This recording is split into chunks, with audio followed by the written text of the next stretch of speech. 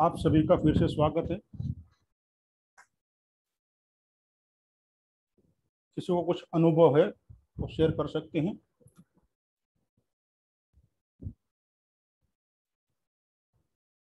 आज का हमारा जो टॉपिक है, वो स्वर विज्ञान का परिचय, फिर स्वर के प्रकार और स्वरों की पहचान। तो स्वर विज्ञान बहुत ही पुराना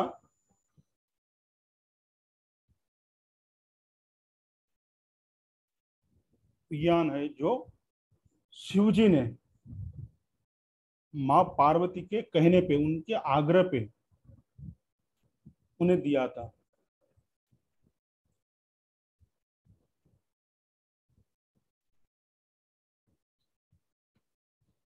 मेरी आवाज़ आ रही है आप तक?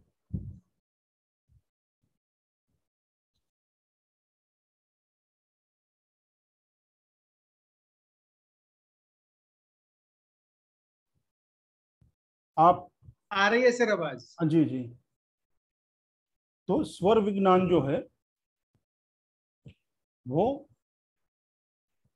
हमारे अति प्राचीन विद्या है। हज़ारों साल पहले भगवान शिव ने माता पार्वती के आग्रह पर यह ज्ञान उन्होंने दिया था। तो आप पहले आप सब में से कोई जान सब जानते हैं स्वर विज्ञान क्या है इसका आधार क्या है। कोई ऐसा है जो नहीं जानता हो?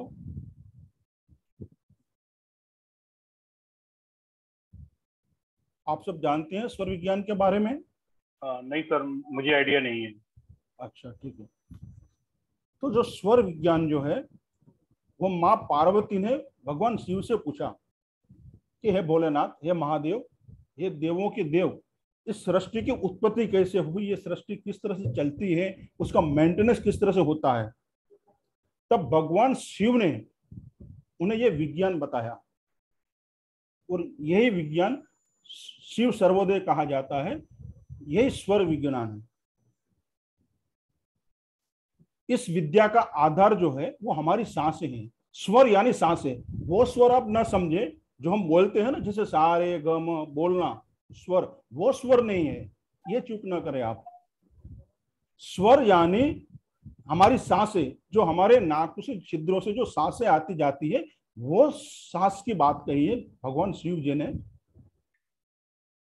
जो साँसें हम, हमारे जन्म से मृत्यु तक हमारे साथ रहती हैं। तो उसी पे आधारित है पूरा स्वर विज्ञान। जिसे शिव सर्वोदय भी कहा गया है। तो हम उसी की चर्चा करेंगे। पहले जानेंगे, स्वर विज्ञान है क्या? सर्व के प्रकार क्या है? वो सर हम धीरे धीरे एक स्टेप हम जानते जाएँगे और प्रैक्टिकली देखेंगे उसे। तो जो हमारी साँसें हैं, हम जब जन्म लेते हैं, तब से हमारे साथ रहती हैं और जब हमारी मृत्यु होती है, तब तक हम वो हमारे साथ रहती साथ में हमारा रहती है वो। तो हमारी सांस ही हमारा सच्चा मित्र है, जो हर पल हमारे साथ रहता है। ये तो आप सब जानते हो ना, हर पल वो हमारे साथ रहेगा। मगर हमारे इस दोस्त को हम कितना जानते हैं, या उसका हम कितना मानते हैं, वो जो हमसे कहना चाहते हैं, जो हमारी साँसें हमसे कहती है वो हम क्या समझ सकते हैं? तो बस वो समझना ही स्वर विज्ञान है। हमारी साँसें हमें क्या कहती है? कब क्या करना है हमें? वो यदि आपने समझ लिया तो आपके जीवन में जो भी मुसीबतें आती हैं, उससे आप निजात पा सकते हो या मुसीबत आएगी ही नहीं, क्योंकि आपको पता है कि मेरी सांस मुझे ये कह रही है, मुझे इस तरह से चलना है। ये काम मुझे इस तरह से करना है तो वो काम आप उस तरह से करोगे यानी यूनिवर्स ब्रह्मांड से लिंक होके करोगे आप तो उसमें आपको दिक्कतें नहीं आएगी। जैसे मैं पिछले भी कई कई बार बताया है कि जैसे एक ट्रेन होती है उसका लोको पायलट होता है जो ट्रेन चलाते हैं वो और पीछे एकदम लास्ट में गा, गार्ड होता है उसका ट्रेन का। अभी हमें ऐसा लगता है कि ट्रेन तो लोको पायलट चला रहा है जनरली ऐसी मान्यता होगी लोगों को ऐसा, लोगों को ऐसा लगेगा कि ट्रेन को चलाने वाला लोको पायलट है ड्राइवर है जो। सरल भाषा में कहें तो। मगर ये हकीकत नहीं है। उसी तरह हमें भी ये लगता है कि हमारा जीवन हम चलाते हैं। मगर हकीकत ऐसा नहीं है। हकीकत क्या है कि पूरी ट्रेन को कौन चलाता है? जो पीछे गार्ड होता है, वो इंडिकेशन देता है, वो डायरेक्शन देता है। तब जाके लोको पायलट वो हिसाब से चलाता है। वो ग्रीन झंडी ग्रीन झंडी देगा तो वो चलाएगा, लाल झंडी देगा तो वो रोक देगा। उसी तरह जब स्टेशन आता है, तब रुकती है गाड़ी, उसका समय होता है, पीछे से उसको हरी झंडी मिलती है, तब लोको पायलट ट्रेन को आगे बढ़ाता है।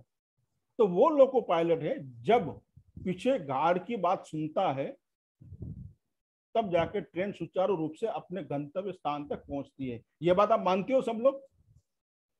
बराबर? है तो वो गार्ड जो है, वो पूरी गाड़ी को चला रहा होता है एक्चुअली तो। गाइडलाइन वो दे रहा होता है गाइड गार्ड जो है। तो उसी तरह से हमारे जीवन रूपी जो ट्रेन है, हम ये मानते कि हम उसे चला रहे हैं। अब ये मान के चलो कि वो गाइड की जो मार्गदर्शन के हिसाब से यदि लोको पायलट नहीं चलता है और अपने हिसाब से वो गाड़ी चलाएगा ट्रेन चलाएगा स्टेशन पे रुका, नहीं रुका, चला गया तो क्या होगा? आप सोच सकते हो। एक्सीडेंट भी हो सकते हैं, कुछ भी हो सकता है। उसी तरह हम हमारे जीवन रूपी गाड़ी को, जब हम चलाने लग जाते हैं, तब दिक्कतें आती हैं। तब हमें बीमारियाँ होती हैं। तब जाके हमारे रिलेशन खराब होते हैं। हम या कोई नया बिज़नेस करते हैं, उसमें लॉस जाती है, क्योंकि हम अपने हिसाब से करते हैं। किसी गलत आदमी से हमने पार्टनरशिप कर ली। होता है ना सर आम जीवन में ऐसा होता है। क्योंकि उस समय यदि हमने, जो हमारा गार्ड है, हमारी साँसें, वो जो हमारे जीवन को चला रहा है एक्चुअली इस बॉडी को जो जन्म के साथ दिया हुआ है, वो गार्ड है हमारा। और हमारे मृत्यु तक वो रहेगा। यानी जो स्टेशन से हमारी गाड़ी शुरू हुई है और गंतव्य स्थान है हमारा जो वहाँ तक चलने वाला गाड़ी है हमारे साथ, उसकी बात हम जब मानेंगे तो सुचारू रूप से हम हमारी ज़िंदगी जी जी पाएँगे, आराम से जी सकेंगे। और हमारा जो डेस्टिनेशन है, हमें जहाँ पहुँचना है, वहाँ हम सरलता से पहुँच पाएँगे। यदि हमने उसकी बात नहीं मानी तो दिक्कतें आएगी। बस ये हमारी बात, जो हमारा गार्ड है, जो हमारी साँसें हैं, उसको समझना यही सर्व सर्वोदय का ज्ञान है, यही शिव, यही स्वर विज्ञान है। उसी के बात हम करेंगे। हमारे डेली रूटीन में हम उसे पहले पहचानेंगे कि स्वर क्या है। उसे कैसे हम पहचाने? फिर उसको हम अपने दैनिक जीवन में किस तरह से यूटिलाइज करें छोटे मोटे काम में, ताकि उसमें हमें सफलता मिले। बस यही शिव जी ने माँ पार्वती को समझाया कि आप अपनी सांसों पे मास्टरी कर लो, यानी अपनी सांसों पे पकड़ बना लीजिए। अपनी सांसों को पहचाने। और पूरा संसार इसी से चलता है। पंच तत्वों से पंच महाभूत से पूरी सृष्टि बनी है। हमारे सांसों में भी वो पंच तत्व है। उसे हम आगे देखेंगे, किस तरह से हमें देखना है, समझना है। तो ये पूरा सांसों का खेल है। स्वर विज्ञान जो है, हमें पूरा सांसों पे है। तो हमें इसे समझना है। तो ये एक बात आपको क्लियर होगी सबको कि हमारा जो ये पूरा रूट जो है, पूरा सफ़र जो है, पूरा सांस पे है। हमारी साँसें हैं, काल है। उस काल पे हमें विजय पाना है। तो वो जो हमारी यात्रा है, काल से महाकाल की, ये हमें सफ़र शुरू करना है, काल से शुरू करना है, महाकाल पे खत्म करना है। यानी कालों का जो काल है, वो महाकाल है। अकाल मृत्यु, असाध्य बीमारी, उससे हमें निजात पानी, उससे आगे हमें जाना है। ये हमारा सफ़र होगा। मैंने आपको शॉर्ट में बता दिया, ये हमारा सफ़र होगा। हाँ उसके अलग अलग पड़ाव होंगे अलग अलग स्टेशन आएँगे, हम रुकेंगे। जैसे हम ट्रेन में जाते हैं, दो मिनट का कोई स्टेशन आता है, पाँच मिनट का स्टेशन आता है, वहाँ पड़ाव होता है हमारा, रुकते हैं, चाय पानी करते हैं, फिर आगे निकलते हैं। उसी तरह एक एक पड़ाव से हम आगे जाएँगे। बीच में छोटा सा सेशन होते जाएगा क्वेश्चन आंसरिंग सेशन उसमें आपके डाउट आप बताइए। मेरे से हो सकेगा उतना, मैं उसे क्लियर करने की कोशिश करूँगा। वो होगा हमारा ब्रेक वो स्टेशन होगा हमारा। तो इस तरह से हम धीरे धीरे आगे बढ़ते जाएँगे। तो ये ये इतना समझ में आ गया आपको? स्वर विज्ञान क्या है? सिंपली शिव जी ने माँ पार्वती को जो बताया, वो पूरा संस्कृत में पूरा ग्रंथ है, उसका मैं हिंदी में अनुवाद करके उसे हमारे दैनिक जीवन में हम किस तरह से यूज़ करना है, प्रयोग करना है, वो हम देखते जाएँगे धीरे धीरे ठीक है? आगे बढ़े। तो ये जो है, सांसों की बात है यहाँ। अभी जनरली क्या मान्यता होती है हमारी? जो हम सांस लेते हैं ना तो हम जनरली क्या सोचते हैं कि एक श्वास, एक नासिका से हमने श्वास ली, दूसरे से छोड़ी। ये जनरली मान्यता है। मानो कि राइट से ले ली और लेफ़्ट से छोड़ दी। जैसे अलम विलोम हम करते हैं ना तो जनरली मान्यता ये है कि एक से हमने ली, दूसरे से छोड़ी। बराबर? यही मान्यता है ना, नाइन्टी परसेंट तो यही मानते हैं। इधर से ली, इधर से छोड़ी। फिर इधर से ली, इधर से छोड़ी। बराबर? मगर ये हकीकत नहीं है। ऐसा नहीं होता है। आप अभी आप चेक कीजिएगा। हाँ हमारी जो दो नासिकाएँ हैं ना तो उसी में से हम एक से श्वास लेते हैं उसी से श्वास जाती है बाहर। दूसरी साइड की बंद रहेगी। अभी आप चेक कीजिए। सब लोग चेक कीजिए। किसी की राइट नोज़ चलेगी तो किसी की लेफ़्ट अंदर चल रही मेरी। हाँ आप म्यूट रखें। आप आप अपने आप चेक करें।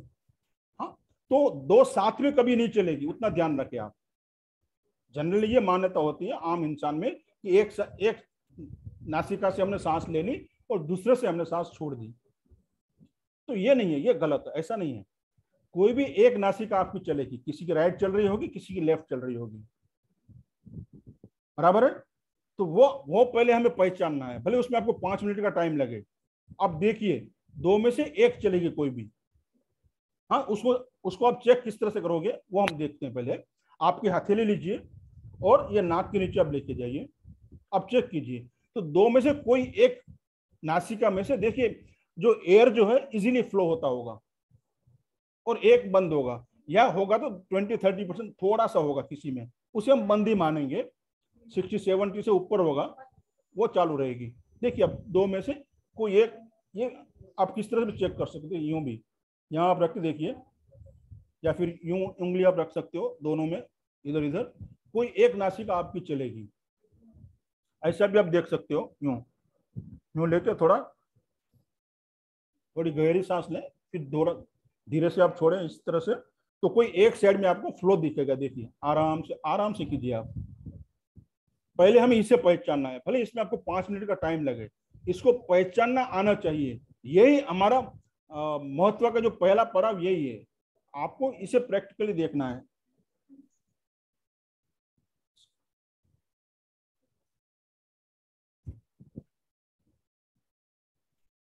आप है ना उसे आराम से चेक करें।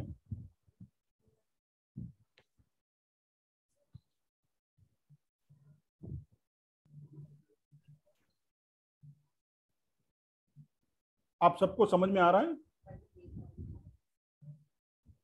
चेक चेक करना आ गया आपको। राइट या लेफ़्ट को एक चलेगी ये ये क्लियर हो गया आपको?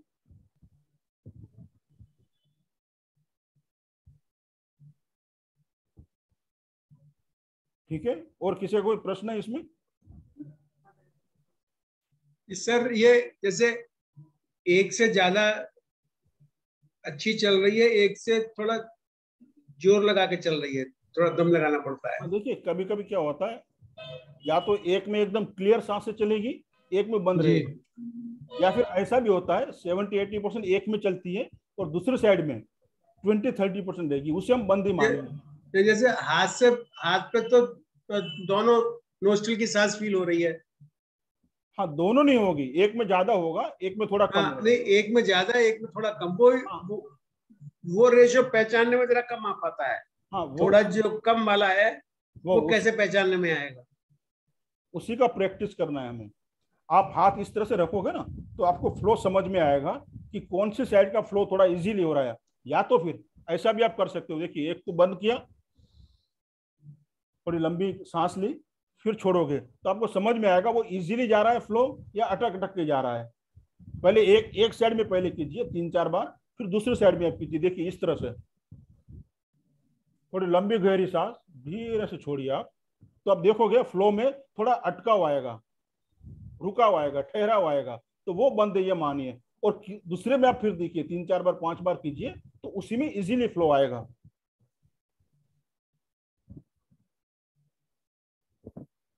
बराबर? अभी मेरी चंद्र नाड़ी चल रही है। अभी यानी यानी लेफ़्ट वाली चल रही है ये अभी। अभी मेरा भी लेफ़्ट चल रहा है।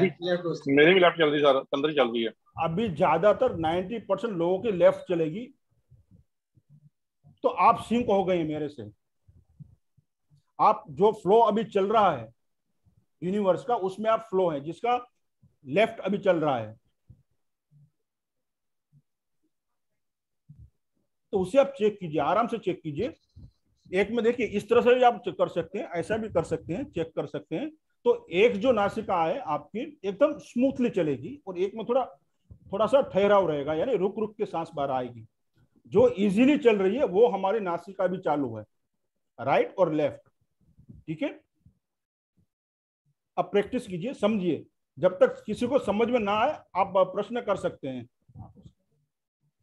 सर ये किसी को जो ना जो एक जो नोस्ट एक जो नोस्टिल चलेगा जी। उससे कुछ ब्रीद में कूलनेस भी फील होती है? नहीं किसी को ठंडक होगी किसी को गर्म होगी वो तासीर के हिसाब से है ठीक है वो आगे का टॉपिक अच्छा। हम देखेंगे मगर अभी सिर्फ़ हमें ये देखना है कि कौन सी नासिका में फ्लो इजी हो रहा है। ये चेक करना है क्योंकि पहला पड़ा भी हमारा ये है जब ये हम नहीं समझ पाएँगे तो आगे कुछ नहीं होगा। इसलिए भले इसमें हमें टाइम लगे आप चेक करें समझिए इसको कि किस तरह से चेक करना है। आराम से चेक करें कोई कोई जल्दी नहीं है। हम एक क्लास और बढ़ा देंगे, ऐसा रहा ना तो। आप चिंता ना करें उसके, मगर आप इसको समझ लें। यदि यहाँ आप चुक गए, यहाँ जजमेंट आपको नहीं आया तो आगे गलती हो सकती है। तो आराम से चेक करें। देखिए चेक करने के कई तरीके हैं। जैसे मैंने कहा आपको, यूँ भी आप देख सकते हो इजीली जैसे जैसे आपकी प्रैक्टिस बढ़ेगी ना, फिर आपको यूँ चेक करने ज़रूरत नहीं पड़ेगी। वो इजीली आपको समझ में आएगा कौन सा चल रहा है। फिर एक समय ऐसा आएगा कि आप जब चाहोगे उसे शिफ्ट कर सकोगे, आपके हिसाब से। वो हम आगे देखेंगे कैसे होता है, मगर इतना फिर आपके अंदर कंट्रोल आ जाएगा। तो आप इस तरह से भी देख सकते हैं, जो नासिका, दोनों में बारी बारी तीन चार बार डीप सांस लीजिए, फिर छोड़िए। देखिए, उसमें कौन से इजी फ्लो हो रहा है, उसी भी आप इस तरह से भी आप चेक कर सकते हैं। अपना कैमरा ऑन रखिए प्लीज़ सब कैमरा ऑन रखिए, अपना। नहीं तो यहाँ, यदि आपका कैमरा बंद है तो यहाँ बैठने से भी आपको कोई फ़ायदा नहीं होगा। वो एनर्जी फ्लो आप तक आना चाहिए, वो वो आप रोक रहे हो। और मैं चाहता हूँ कि आप यूनिवर्स से लिंक हो। आपको वो फ्लो मिले। और हमने जो प्रार्थना की है, वो इसी के लिए की है कि आपके सारे चक्र बैलेंस हो, जो भी ब्लॉकेज वो खुल जाए और यूनिवर्स से आप लिंक हो सके। तो हो सके वो लोग मैक्सिमम लोग अपना कैमरा ऑन रखिए और क्लास खत्म होते आपको कुछ अनेरा अनुभव भी होगा। वो भी आप चेक कर सकते हैं। तो हो सके तो अपना कैमरा आप ऑन रखिए। हाँ माइक बंद रखिए। किसी को कोई प्रश्न है तो हैंड राइज करें। ठीक है? और कोई दिक्कत आ रही है ये चेक करने में तो आप प्रश्न कर सकते हैं। जब तक किसी को समझ में नहीं आएगा, तब तक हम आगे नहीं बढ़ेंगे। सबका सिग्नल होगा कि चलो, मुझे समझ में आ गया है, तब फिर हम आगे बढ़ेंगे। क्योंकि यही बेस है, यही समझना ज़रूरी है। यदि ये हमें नहीं आया समझना कि कौन सी मेरे साथ चल रही है तो फिर आगे जाके आप उसमें काफ़ी दिक्कतें आएँगी आपको। या आप समझ नहीं पाओगे या कर नहीं पाओगे। तो इसलिए आप आराम से अच्छी तरह से उसी कीजिए प्रैक्टिस कीजिए आप कि आपकी कौन सी नासिका अभी चल रही है लेफ़्ट और राइट वो आप देखिए। जिसको कोई समझ में नहीं आ रहा है तो कृपया हैंड राइज करें। तो मैं आपको और समझाने की कोशिश करूँ।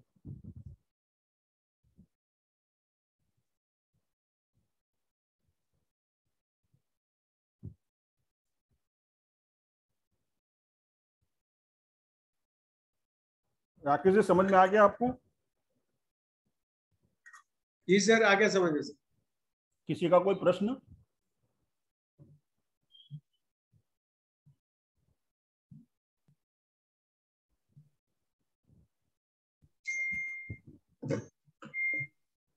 अरशद जी, आपको समझ में आ गया? थम्सअप दीजिए ऐसा, ताकि मैं समझ पाऊँ कि आपको समझ में आ गया है। जिन जिन लोगों को आ गया है थम्सअप दीजिए तो फिर मैं आगे बढ़ूं। क्लियर है? ओके चले, आगे बढ़े फिर। तो ये ये तो हमें समझ में आ गया कि कौन सी कौन सी हमारी नासिका चल रही है, यानी एक चलिए कोई भी। लेफ़्ट और राइट बराबर है?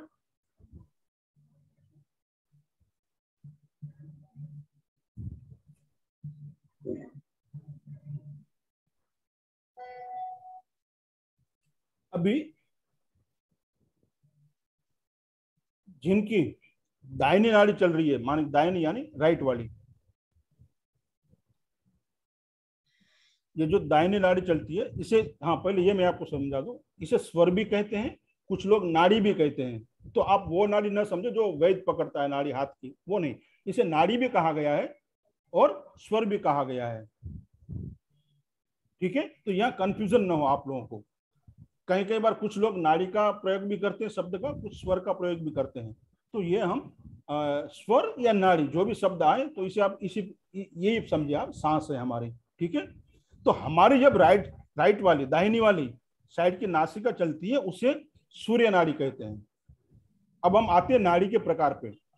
कौन से कौन से प्रकार है नाड़ी के? हाँ तो नाड़ी के तीन प्रकार हैं। नाड़ी या स्वर के तीन प्रकार हैं। एक जो हमारी दाहिनी नाड़ी चलती है, दाहिना स्वर चलता है, उसे सूर्य नाड़ी कहा गया है। ठीक है, उसके और भी नाम है, फिर मैं आगे लाऊँगा, ताकि उसमें कहीं आपको गड़बड़ ना हो, फिर आप वहाँ मिस्टेक ना करें। तो हम यहाँ सूर्य, चंद्र से चलेंगे। वहाँ क्या पिंगला भी है, कुछ लोग पिंगला भी कहते हैं, और दूसरी जो नाड़ी हमारे लेफ़्ट साइड की है, ये लेफ़्ट वाली बाई नाड़ी, उसे चंद्र नाड़ी भी कहा गया है। इसे कुछ लोग ईड़ा भी कहते हैं। शास्त्रों में इसमें ईड़ा का वर्णन है और ये पिंगला। तो ये नाम में आप कंफ्यूजन ना हो। आप नोट करना चाहे तो कर सकते हैं। राइट वाली सूर्य नाड़ी या सूर्य स्वर क्योंकि यहाँ ज़्यादातर लोग यहाँ कंफ्यूज हो जाते हैं। तो ये आप नोट करना चाहें तो कर सकते हैं। राइट वाली जो है नाड़ी हमारी, वो सूर्य नाड़ी कहा जाती है उसे, या सूर्य स्वर कहता है कहा जाता है उसे, या पिंगला नाड़ी भी हम कहते हैं, पिंगला। ठीक है? और लेफ़्ट जो है हमारी नाड़ी, जब लेफ़्ट नाड़ी चलती है, उसे चंद्र नाड़ी या चंद्र स्वर कहते हैं, जो बाई है, उसे ईड़ा भी कहा गया है, ईड़ा नाड़ी। ठीक है? ये दो नाड़ी समझ में आ गई आपको? सूर्य राइट वाला सूर्य लेफ़्ट वाला चंद्र। बराबर है?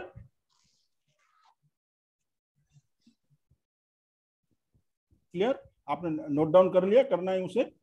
राइट जो है वो सूर्य नाड़ी है, लेफ़्ट है वो चंद्र नाड़ी है। बस ये बात अभी आप जान रखें। शायद कहीं पिंगला और ईड़ा में आप कंफ्यूजन है तो ब्रैकेट में आप लिख देना, सूर्य में पिंगला और चंद्र में ब्रैकेट में आप लिख दिए ईड़ा। हाँ हम यहाँ मैक्सिमम यूज़ करेंगे सूर्य और चंद्र का। मगर ये दो नाम आपको आने भी चाहिए, ताकि और कई जगह पे इसका उल्लेख हो तो आपको समझ में आए, ये सूर्य है, ये चंद्र है। इसका उल्लेख हो रहा है। कोई पिंगला कहेगा तो आपको मान समझना है। ये चंद्र सूर्य नाड़ी है सूर्य ठीक है?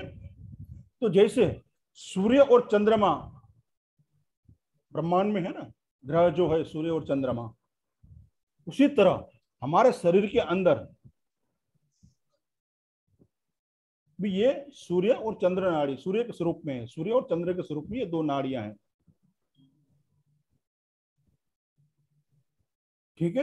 तो हमारे शरीर के अंदर जो भी छोटी मोटी बीमारियाँ होती हैं किसी को हाई बीपी है, गठिया है एसिडिटी गैस हाँ कभी बच्चे पढ़ नहीं पाते हैं। ध्यान हम, हमारा ध्यान किसी पे लगता नहीं है। हाँ कई कभी कभी हम डिसीज़न पे नहीं डिसीज़न भी नहीं ले पाते हैं। तो ये सब क्यों होता है? तो जब हम इनको नहीं सुनते हैं, हमारी नाड़ियों को, तब ये जाके दिक्कत होती है। वो कैसे होगी? अब हम फिर आगे देखेंगे। अभी तीसरी जो नाड़ी है, उसके बारे में मैं आपको बताता हूँ। देखिए, राइट सूर्य, लेफ़्ट चंद्र और तीसरी नाड़ी है, दोनों के मध्य में वे सुषुप्ना नाड़ी है।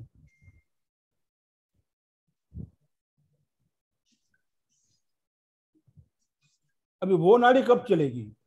देखिए, जनरली मान्यता क्या है कि कोई भी एक नाड़ी जो है ना, मान लो किसी की अभी चंद्र नाड़ी चालू है, ज़्यादातर लोगों की।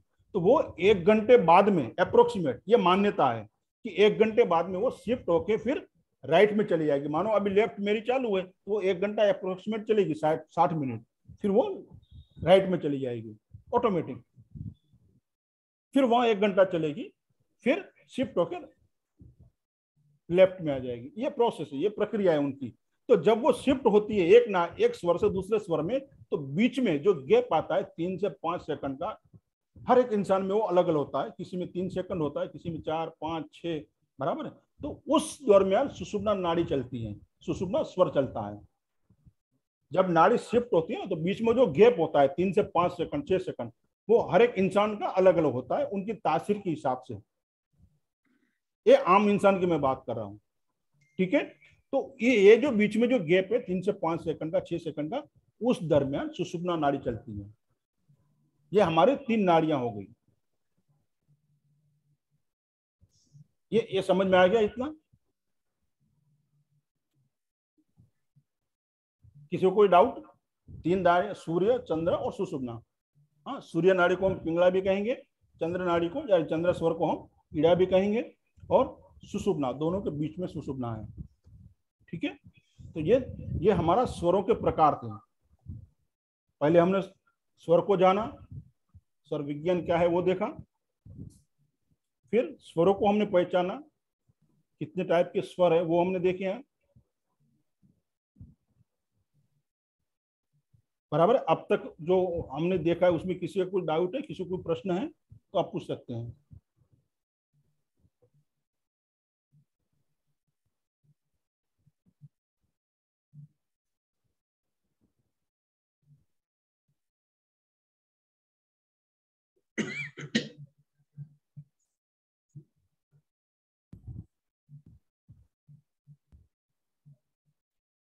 तो ये स्वर का प्रकार हमने देख लिया। आज का जो हमारा टॉपिक था, स्वर विज्ञान का परिचय, बहुत शॉर्ट में मैंने आपको दिया है। और स्वर के प्रकार हमने देखे, तीन प्रकार हैं। किस तरह से हम उसको पहचानेंगे, वो हमने देखा।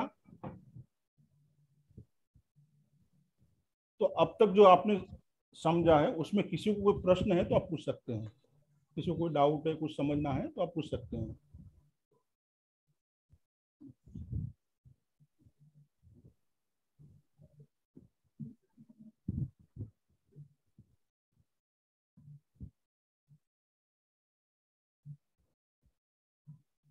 बराबर तो ठीक है, मैं और टेक्निकल थोड़े मैं आपको बता देता हूँ। हमारे शरीर के अंदर बहत्तर हज़ार नाड़ियाँ होती हैं। नाड़ियाँ यानी जैसे हमारे फ़िज़िकल बॉडी ये भौतिक शरीर के अंदर, हमारा जो शरीर है, उसके अंदर खून को लेके जाने के लिए नसें होती है ना। और ऑर्गन ऑर्गन्स होते हैं हार्ट है लीवर है किडनी है, आते हैं। हाँ तो वहाँ तक खून पहुंचाना है हमारे शरीर के एक एक पार्ट पे तो वो कौन लेके जाएगा? नशे लेके आती है ना। शुद्ध शुद्ध, यानी प्योर ब्लड को लेके आएगी और इनप्योर को लेके आएगी वापस। तो शीरा और धमना धमनी जिसे हम कहते हैं, वो हमारे फ़िज़िकल बॉडी में होती है, वो नसें होती हैं और ऑर्गन्स होते हैं, यानी अंग होते हैं किडनी लिवर हार्ट उसी तरह। ये हमारी फ़िज़िकल बॉडी होगी। उसी तरह हमारे इस फ़िज़िकल बॉडी के बाहर प्राण शरीर होता है, ऊर्जा शरीर जिसे कहा गया है। उसके अंदर एनर्जी को फ्लो करने के लिए जो जैसे फ़िज़िकल बॉडी में नसें होती है ना, उसमें नाड़ियाँ होती है, उसे नाड़ियाँ कहते हैं। वो एनर्जी जो आती है, उसको शरीर के एक पॉइंट पे लेके जाने का काम जो है ना, ये बहत्तर हज़ार नाड़ियाँ करती है। ये शास्त्रोक्त लिखा हुआ है कि हमारे शरीर में बहत्तर हज़ार नाड़ियाँ होती है। नाड़ियाँ यानी वो नसें, कौन सी? प्राण शरीर में। जो एनर्जी को लेके आती है शरीर के एक एक कोने में एक एक सेल के पास। और जैसे फ़िज़िकल बॉडी में ऑर्गन्स होते हैं, हमारे अंग होते हैं लीवर किडनी हार्ट है, उसी तरह हमारे प्राण शरीर में चक्रास होते हैं। कई चक्रास होते हैं, मगर मेजर सात चक्र होते हैं, जैसे है ना, मूलाधार, स्वादिष्टान, मणिपुर। तो ये प्राण शरीर में है, हमारे फ़िज़िकल बॉडी में नहीं है। फ़िज़िकल बॉडी से तीन से चार इंच वो बाहर की जो हमारा एनर्जी शरीर है एनर्जी बॉडी है, वहाँ होता है ये। ये चक्र होते हैं वहाँ। और नाड़ियाँ भी उसी शरीर में होती हैं। तो उनमें से तीन नाड़ी प्रमुख है। बहत्तर हज़ार नाड़ियाँ हैं हमारे पूरे शरीर में, प्राण शरीर में। उसमें से तीन नाड़ियाँ जो है वो प्रमुख है, जो हमारे नाभि केंद्र में के उधर है। वो तीन नाड़ियाँ जो है, वही सारी के सारी बहत्तर हज़ार नाड़ियों पे कंट्रोल करती है, वही काल को नियंत्रण करती है। और यही तीन नाड़ियाँ हैं, पिंगला, जिसे हम सूर्य नाड़ी कहते हैं सूर्य स्वर कहते हैं, जो, और दूसरी जो है, कीड़ा नाड़ी, जिसे चंद्र नाड़ी कहते हैं। वो दो हो गए और तीसरी है सुषुप्ना नाड़ी। ये तीन नाड़ियाँ प्रमुख है जो हमारे बहत्तर हज़ार जो नाड़ियाँ उसको कंट्रोल करती हैं। जिसने इस तीन नाड़ी को समझ लिया, उसने संसार को समझ लिया, ऐसा शिव जी का कहना है। वो माँ पार्वती जी को कहते हैं, ये तीन नाड़ी जो है, वो बहत्तर हज़ार नाड़ियों को कंट्रोल करती है, ये काल को कंट्रोल करती है। तो ये सूर्य नाड़ी, चंद्र नाड़ी और दोनों के बीच में सुषुप्ना नाड़ी। ये तीन नाड़ियाँ मुख्य हैं। ये हमारे पूरे शरीर को बहत्तर हज़ार नाड़ियों को कंट्रोल करती हैं। सर ये जो आप ये जो सर आपने एनर्जी बॉडी में सात चक्रास बताए जो फ़िज़िकल बॉडी से चार इंच बाहर बताए तो चार इंच बाहर फ्रंट साइड में होते हैं बैक साइड में या फ्रंट बैक दोनों तरफ़ होते हैं? हमारे चारों ओर हमारी चारों ओर वो एनर्जी फ़ील्ड होता है। आगे पीछे पूरे शरीर में चारों ओर हमारे यहाँ जिसे हम ओरा कहते हैं ना हम्म। वो चारों ओर होती है। चक्र जो होते हैं जैसे मूलाधार चक्र पीछे हैं हमारे जो वो हमारे जो मेरुदंड है ना उससे कनेक्टेड होते हैं। जो चक्रास जो मेन सात चक्रास जो है वो हमारे मेरुदंड से कनेक्टेड होते हैं। कुछ चक्र आगे होते हैं कुछ पीछे भी होते हैं। कुछ हमारे सर के एक जो है क्राउन चक्र जिसे कहता है सहस्त्रार चक्र जो है वो हमारे सर से एक फुट ऊपर होता है अप्रोक्सीमेट बारह तेरह इंच ऊपर होता है शरीर से बाहर। बराबर? तो सर इसमें इसमें इसमें सर आगे कौन से चक्र होते हैं? पीछे कौन से चक्र होते हैं सर? जैसे आग्ना चक्र है वो आगे रहेगा। थोट अच्छा। चक्र का चक्र है वो आगे रहेगा। इससे जो अच्छा। आगे वो आगे रहेंगे। मूलाधार चक्र जो है पीछे रहेगा। बाकी छोटे छोटे कई चक्र हैं। हाथ की हथेली में चक्र है पैर के तलवे में चक्र है बहुत सारे चक्रास है। वो छोटे छोटे चक्र हैं, मगर मेन ये सात चक्र हैं जो हमारे पूरे शरीर को गवन करते हैं। तो यहाँ, इन लोग, यहाँ तक एनर्जी लाने का काम जो है, ये बहत्तर हज़ार नाड़ियाँ करती हैं। इनमें से ये तीन प्रमुख है। तीन को जिसने साध लिया, उसने अपना जीवन परिवर्तन कर लिया। ये तीन यदि आपने साध लिया तो आपके शरीर की जो भी बीमारी है, वो दूर हो सकती है। आपकी जो भी इच्छा है, उसे आप पूरी कर सकते हो। हमारे सारे सपने हम साकार कर सकते हैं। हमारा व्यापार है, नौकरी है, उसमें हम अद्भुत सफलता पा सकते हैं। हमारे बच्चे पढ़ाई में अच्छा अच्छा कर सकते हैं। तो यानी डेली जीवन में जो भी हमारी मुसीबतें हैं, उसे हम पार आ सकते हैं। यदि इन तीनों नाड़ियों को हमने साध लिया, समझ लिया, इस पे हमने मास्टरी कर ली तो और यही हमारा प्रोसेस है, काल से महाकाल तक जाने का। ये हम धीरे धीरे धीरे धीरे समझते जाएँगे सीखते जाएँगे। ये तीनों नाड़ियों को हमें अपने हिसाब से किस तरह से यूटिलाइज करना है पूरे दिन में? सुबह उठते हैं, शाम को सोते हैं। तो इन दरमियान हमारे जो दैनिक जीवन में जो हम जो भी क्रिया करते हैं, कोई नौकरी करता है, कोई बिज़नेस करता है, कोई बच्चे स्कूल स्कूल जाते हैं गृहिणी जो घर में काम करती हैं, हर एक का अपना अपना अलग दिनचर्या होती है, उसमें हम इन स्वरों को किस तरह से साथ के अद्भुत सफलता पा सकते हैं, वो हम धीरे धीरे एक एक पड़ाव में देखेंगे। ठीक है? तो आज का हमारा जो सेशन था यह था तीनों नाड़ियों को पहचानना, समझना और प्रैक्टिकली उसे महसूस करना कि मेरी कौन सी नाड़ी चल रही है, वो देखना। ठीक है? तो अब तक जो आपने किया है तो यहाँ कोई किसी को प्रश्न है? इसमें?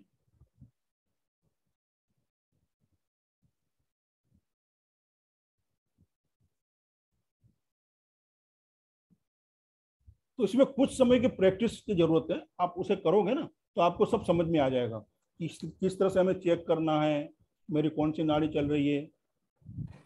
फिर ये थोड़ी प्रैक्टिस के बाद हमारी जो बॉडी है ऑटोमेटिक स्वरों के अनुरूप काम करने शुरू कर देगी वो।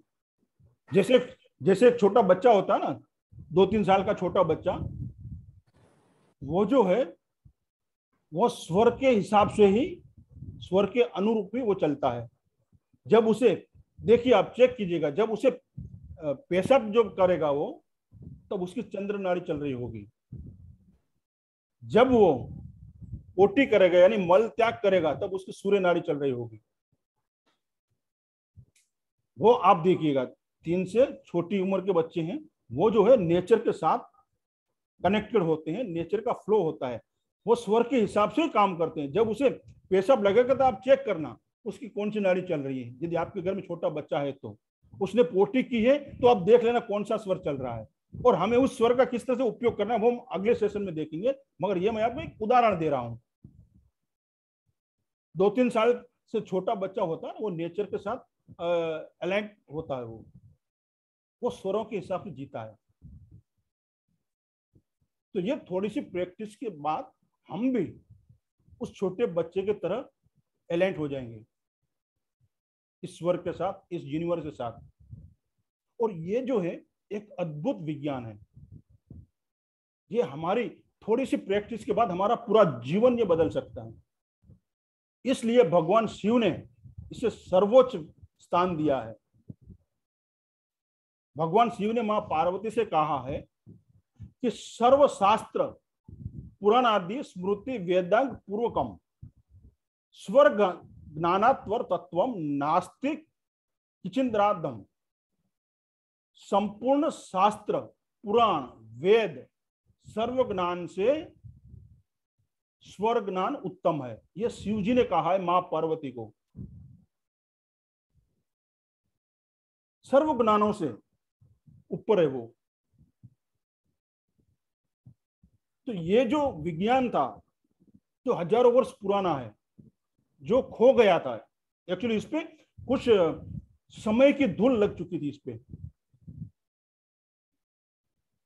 और कुछ लोग ऐसे आए हमारे भारत वर्ष में तो उसने इस जो विद्या थी, उसको धुंधला सा कर दिया था, उसको दबा के रखा था। और कुछ लोग जो जानते थे वो बताते नहीं थे इसे। तो मगर पिछले कुछ वर्षों में जैन मुनियों ने इस पर बहुत ही अच्छा काम किया है।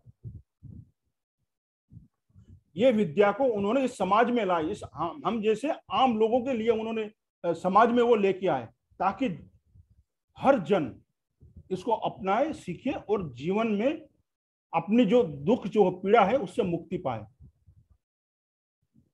अपना जीवन को सफल बनाए। तो हमें उन जैन मुनियों को और जो जो लोगों ने इस शास्त्र को, इस विज्ञान को उजागर किया है, उन सभी को हम कोटि कोटि वंदन करते हैं। उन्हें धन्यवाद देते हैं, उन सभी जैन मुनियों को कि उन्होंने हमारे लिए, हमारे बारे में इतना सोचा और हम तक उन्हें पहुँचाया। तो आप सब भी दिल से, हृदय से उन सब जनों को धन्यवाद दीजिए कि उन्होंने हमारे लिए ये सब किया। कोटि कोटि हमें उनका धन्यवाद है। चरण वंदन है ऐसे गुरुजनों को जिन्होंने हमें ये विद्या दी है। और इस विद्या का आप दैनिक दिनचर्या में यदि आप उपयोग करते हो तो उसमें अद्भुत सफलता पाते हो आप। और दूसरों को भी आप इसमें सफल कर सकते हो, इस विद्या को सीख के। बस थोड़ी सी प्रैक्टिस की ज़रूरत है। आपने देखा होगा कि आप कई बार प्रार्थना करते हो या कोई मन्नत मानते हो तो कभी पूरी होती है कभी पूरी नहीं होती। ऐसा होता है ना? ऐसा होता है? कभी कभी मन्नत हमारी पूरी हो जाती है और कभी कभी हमें ऐसा लगता है कि भगवान कहा सो गए हैं क्या? हमारी कोई बात सुनते ही नहीं है ऐसा लगता है ना? जी सर। और ये भी आपको पता होगा कि वर्षों पहले यदि ऋषि मुनि जब तप करते थे, जो जंगल में, वो किसी को साप देते थे या आशीर्वाद देते थे, वो लग जाता था, वो सही होता था। बराबर है? ये भी मानते हैं आशीर्वाद दिया तो आशीर्वाद, ये जा तेरा बच्चा होगा, या तेरा कल्याण होगा, ये ये होगा तो वो होता था। और श्राप दिया तो वो भी होता था। बराबर? आप मानते हैं? क्योंकि उन्हें ये विज्ञान पता था। आप भी कर सकते हैं। कौन से स्वर में आपको साप देना है या किसी को आशीर्वाद देना है यदि आप ये समझ गए तो वो ऋषि मुनि जो करते थे वो आप कर सकते हैं। ये इतना पावरफुल इतन, ज़बरदस्त विज्ञान है। कोई बदला बीमारी से तड़प रहा आईसीयू में है आपको पता है कि मैं उसे आशीर्वाद दूँगी या दूँगा तो वो बाहर निकलेगा फटाक से।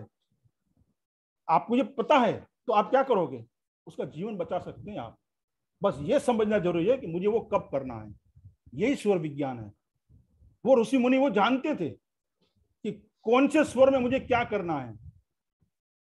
यज्ञ में कर रहा हूँ तो मुझे कौन से स्वर में करना है। किसी को मैं आशीर्वाद दे रहा हूँ तो मुझे कौन से स्वर में देना है। किसी को साप दे रहा हूँ तो मुझे कब देना है। वो जानते थे। बस हमें जानना है। इतना सा फ़र्क है?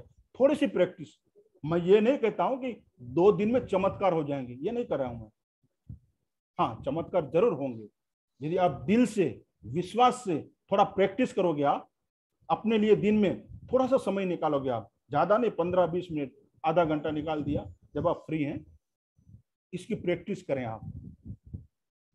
तो आपको, मैं आपको इतना गारंटेड वादा करता हूँ कि आपको जंगल में जाने की तपस्या करने की ज़रूरत नहीं है किसी को श्राप देने, आशीर्वाद देने के लिए।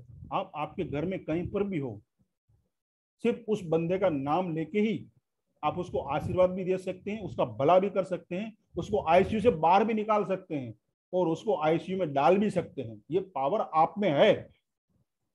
ये पावर हमारी सांसों में है, मगर हम उसे समझ नहीं पाए हैं।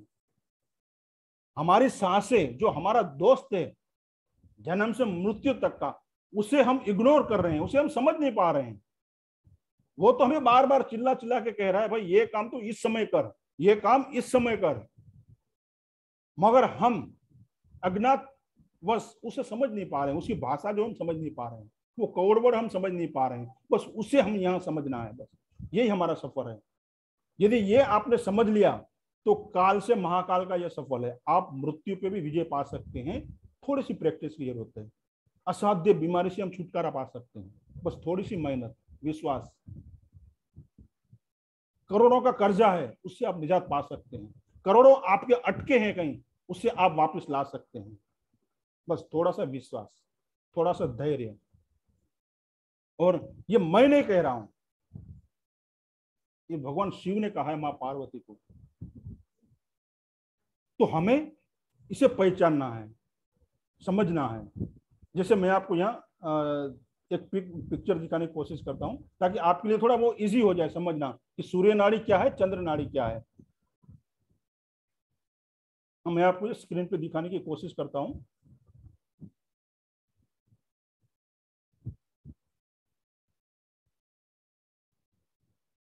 ताकि वो फ़ोटो से वो फ़ोटो जो है ना आपके सबकॉन्शियस माइंड में चला जाए।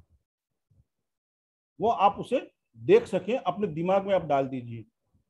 ताकि फिर वो मिस्टेक ही ना हो। ये स्क्रीन विजिबल है आपको सबको? दिख रहा है? प्लीज़ कोई अनम्यूट करके बताएँ। जी जी दिख रहा है। जी दिख रहा है। हाँ। सर दिख रहा है। हाँ ये यहाँ देखिए ये सूर्य नाड़ी है। इसे पिंगला नाड़ी भी कहा गया है जो हमारे राइट साइड से चलती है देखिए।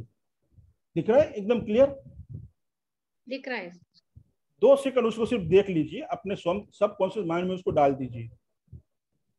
बस। फिर आपको याद करने की ज़रूरत नहीं है। आपको फ़ोटो में कुछ एनर्जी लग रही है?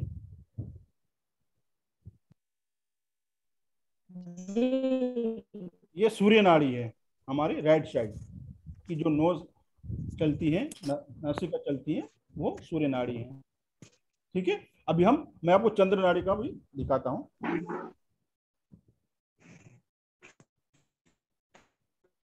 हाँ ये देखिए। जो हमारे लेफ़्ट साइड जो चालू है जिसकी भी वो चंद्र नाड़ी है इसे इड़ा भी कहा गया है।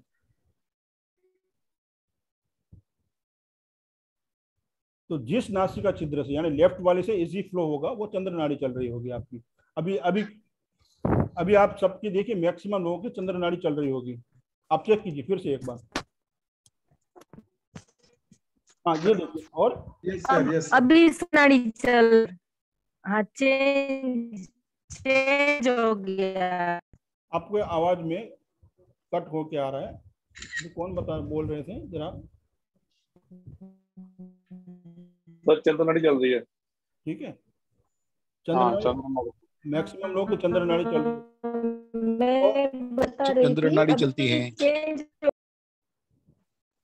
प्लीज़ म्यूट करें। किसी का आवाज़ अभी सूर्य हाँ आपकी सूर्य चल रही है ना? हाँ ठीक है।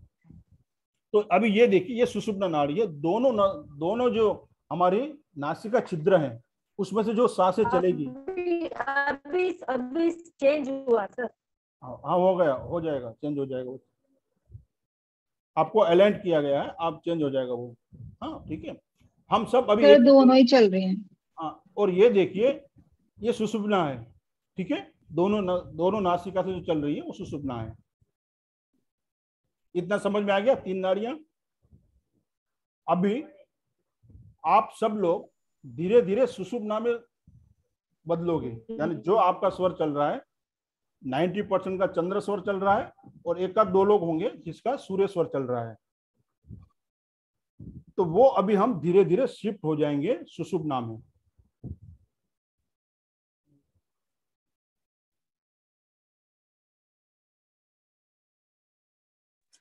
तो सर जो जो हम सुषुम्ना में शिफ्ट होंगे तो सुषुम्ना में दोनों स्वर स्पष्ट चलेंगे दोनों नोस्टल हाँ जी। या उसमें भी सांस कुछ भिची हुई या खिंची हुई आएगी? नहीं मोस्टली दोनों में इजीली चलेगा फ्लो इजीली फ्लो चलेगा। आप वो चेक कर लेना और जिसकी नहीं भी चलती है तो हम अभी छह से सात मिनट का एक मेडिटेशन करेंगे। उसमें जो हमारे नाड़ी है ना वो सुषुम्ना पे आएगी धीरे धीरे। अभी जो सुषुम्ना नाड़ी है ना, हमारे आम जीवन में जो हम सांसारिक लोग हैं, उसकी बहुत कम चलती है। किसी की तीन सेकंड, पाँच सेकंड, सात सेकंड, ज़्यादा से ज़्यादा। जो लोग प्राणायाम वगैरह ज़्यादा करते हैं, उनकी थोड़ी, वो ड्यूरेशन थोड़ा बढ़ जाता है।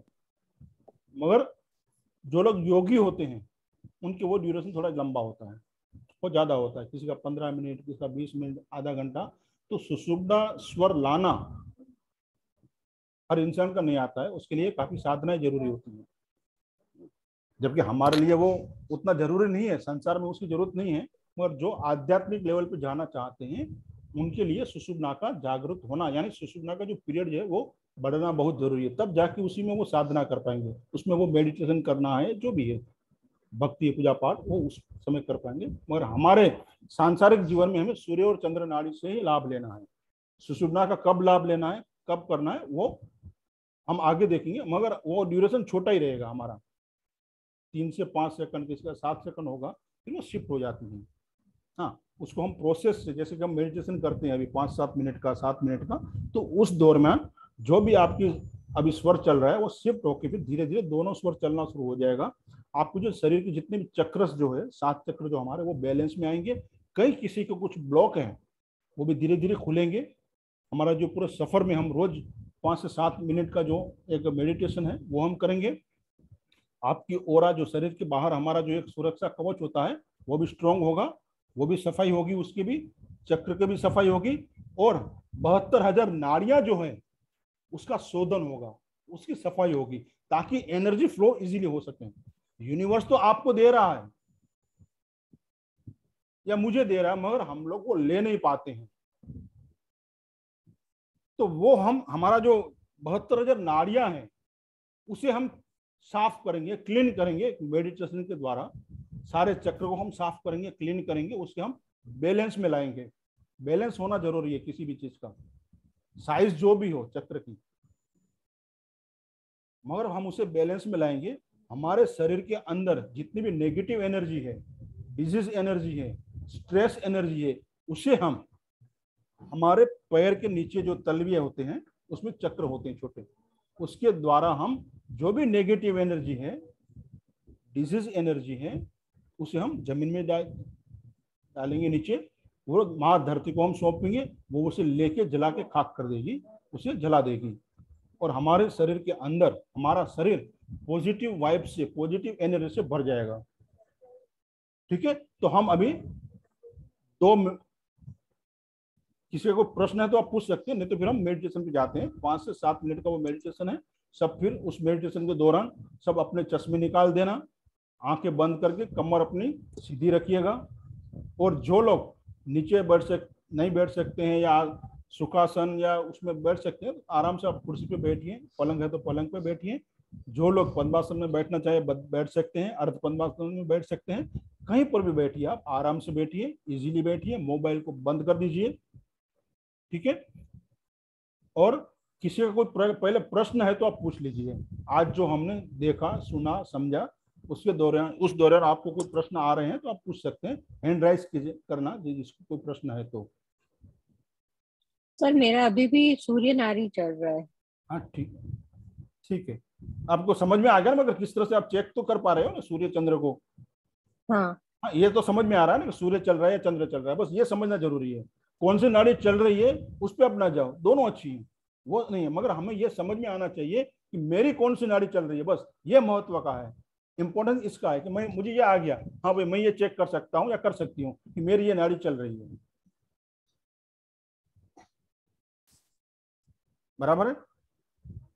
कोई प्रश्न किसी का और?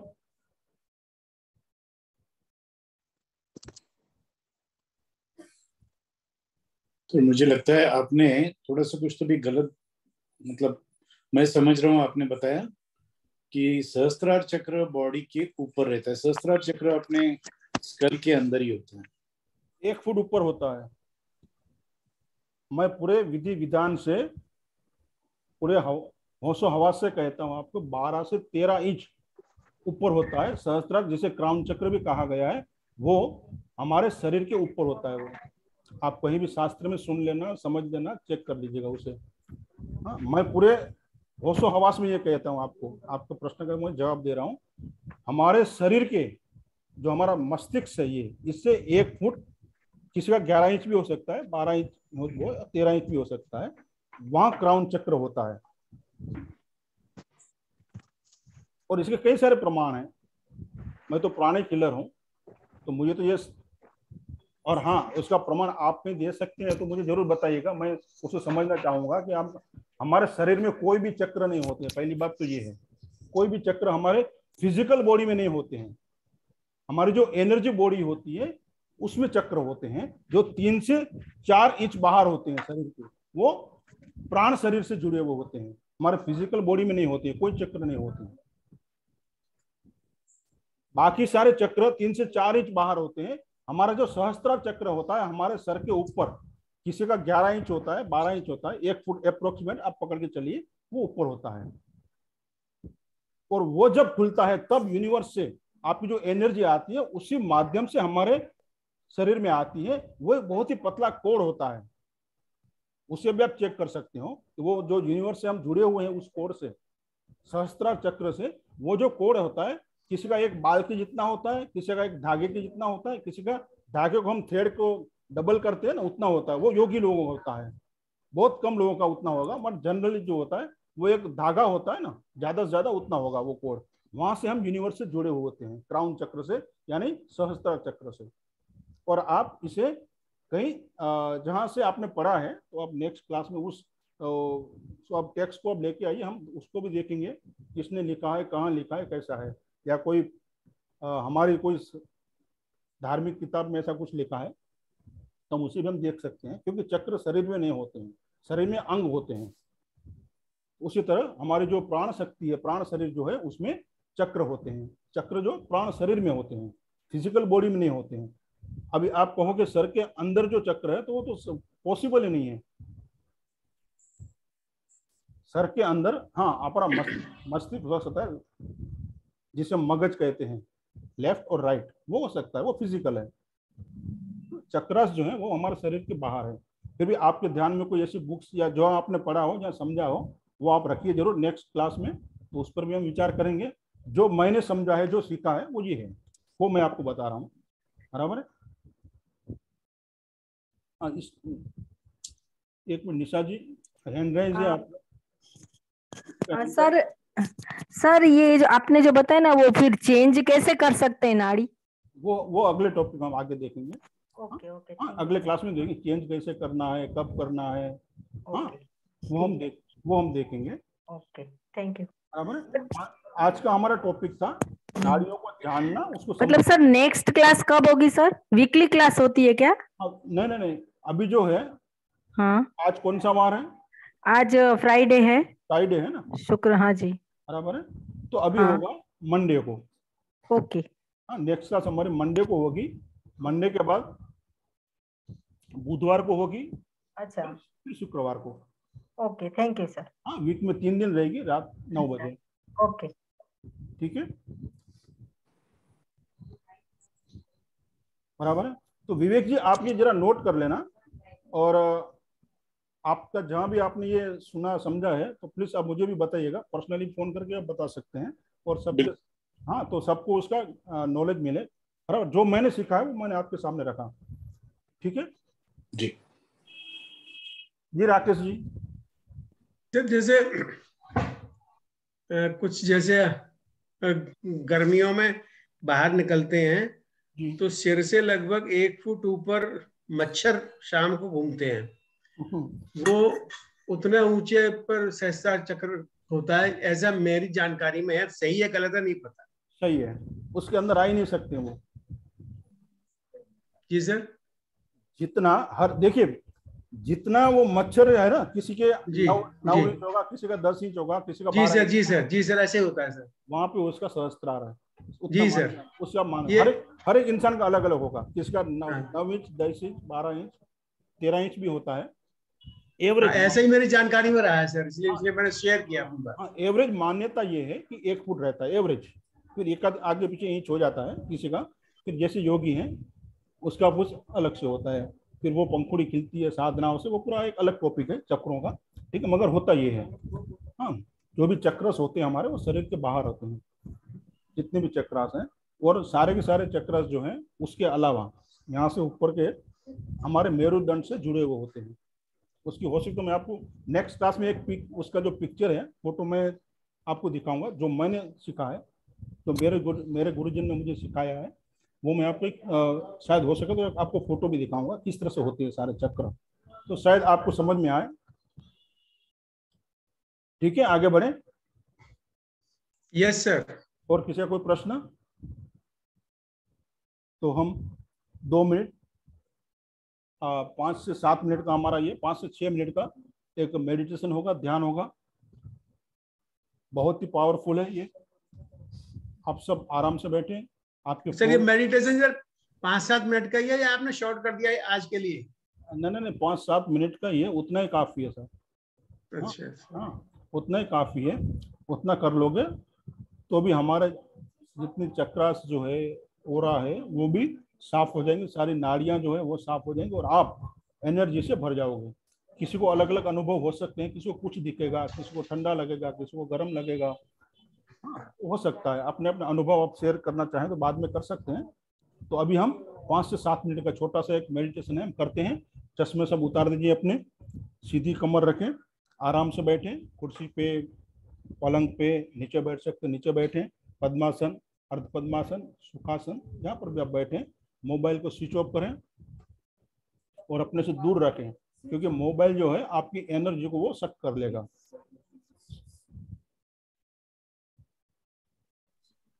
सर एक क्वेश्चन है। सर मोबाइल को रखेंगे तो फिर सर ये आपका जो ये प्रोग्राम तो उससे ही जूम से ही हम उसमें से ही देख रहे हैं ना। अच्छा थोड़ा दूर रखें। अभी मेडिटेशन है ना थोड़ा सामने हाँ। थोड़ा दूर रख दीजिए और उसको साइलेंट मोड पे रख दीजिए आप।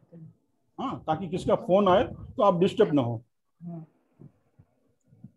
हाँ जिसका लैपटॉप है ठीक है मोबाइल है तो थोड़ा दूर सामने रखिए और आराम से आप बैठिए क्योंकि अभी आपको सिर्फ़ सुनना है। देखने की ज़रूरत नहीं है। हाँ थोड़ा दूर रहेगा, सुनाई देगा आपको। आराम से आप बैठिए। वाइफ, साइलेंट पे रख दीजिए। और हम अभी मेडिटेशन की शुरुआत करते हैं। आप अपने गुरुजनों को याद कर सकते हैं। पिछले जन्मों के, इस जन्म के सभी गुरुजनों को ध्यान से याद करें।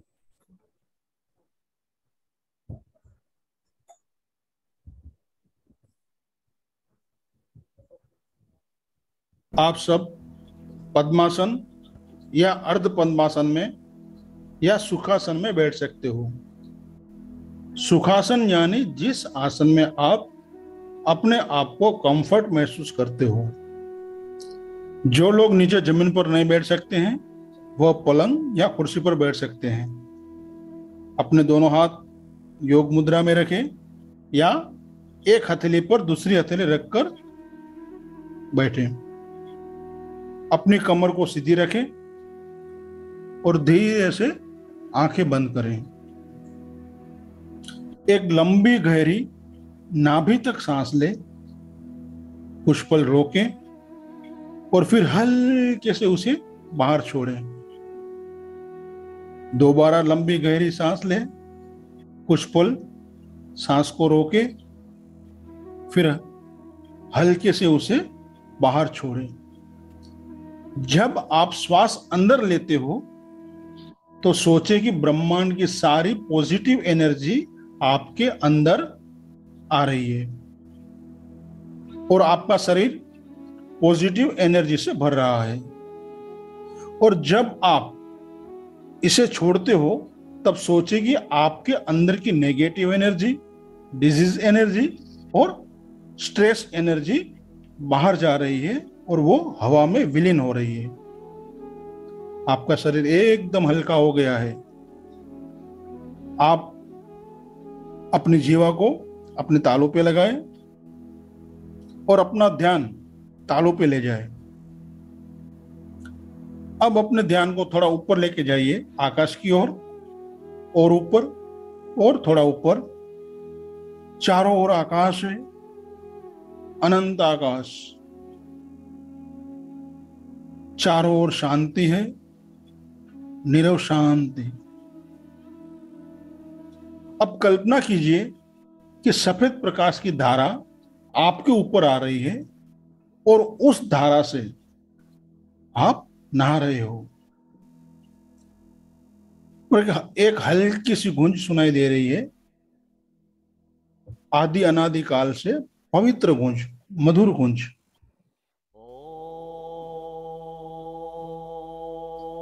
यह गूंज प्रकाश के साथ मिलकर धीरे धीरे नीचे आ रही है।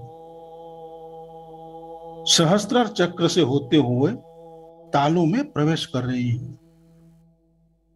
अद्भुत अनुभूति हो रही है। आप सफ़ेद प्रकाश से नहा रहे हो। आपकी ओरा साफ़ सुथरी हो रही है, चमकीली हो रही है। सीधी हो गई है और हेल्दी हो गई है। आपकी और तीन मीटर की हो गई है, और तीन मीटर, और तीन मीटर, और तीन मीटर। प्रकाश तालु से होते हुए हमारे शरीर में प्रवेश कर रहा है। अद्भुत अनुभूति हो रही है। हमारा दाया मस्तिष्क और बाया मस्तिष्क प्राणों से लबालब भर रहा है। कपाल, दोनों कान, दोनों आँखें, नाक, मुख और पूरा चेहरा सफ़ेद प्राण से भर गया है। धीरे धीरे प्राण नीचे उतर रहे हैं। गला, दोनों कंधे और दोनों बाजू प्राणों से भर गए हैं। छाती, फेफड़े और हृदय प्राणों से लबालब भर गए हैं। हेल्दी हो गए हैं। धीरे धीरे प्राण और नीचे उतर रहे हैं। हमारी छोटी आंत और बड़ी आंत और पेट प्राणों से भर रहा है। किडनी और प्रजनन अंग की सफ़ाई और ऊर्जन हो रहा है। हमारे दोनों जांगे घुटने और दोनों पैर प्राणों से लबालब भर गए हैं। नेगेटिव और स्ट्रेस एनर्जी पैरों के तलवों के चक्र से ज़मीन में जा रही है। हमारे सारे चक्र की सफ़ाई और ऊर्जन हो रहा है। हमारे सारे चक्र हेल्दी हो गए हैं बैलेंस में आ गए हैं और शरीर के सारे सेल प्राणों से भर गए हैं। अब आप एक चुंबक बन गए हो ब्रह्मांड की सारी पॉजिटिव एनर्जी अपनी ओर आकर्षित कर रहे हो। आपका जो गोल है, आपका जो ध्येय है, उसे विजुलाइज करें, उसके बारे में सोचें। इस अवस्था में आप जो कुछ भी सोचोगे वह मैनिफेस्ट होगा। वो हकीकत में बदलेगा। धन, दौलत, अच्छे लोग, अच्छे अवसर अच्छा स्वास्थ्य आपकी ओर खींचा चला आ रहा है। अब वो प्रकाश की धारा वापस आकाश में सिमट गई है। आपका शरीर एकदम हल्का हो गया है। इस अद्भुत अनुभूति के लिए हम परमपिता परमेश्वर का और हमारे पिछले और इस जन्म के सभी आध्यात्मिक गुरुजनों का धन्यवाद करते हैं तथा हमारे समस्त देवतुल्य पितृदेवों को हम कोटि कोटि धन्यवाद देते हैं कि उन्होंने हमें यह अवसर दिया। अब आप सब अपने दोनों हथेली को हल्के से रगड़े और अपने आँखों पर रखें। तथा धीरे से अपनी आँखें खोलें और अपनी हथेली को धीरे से हटा लें।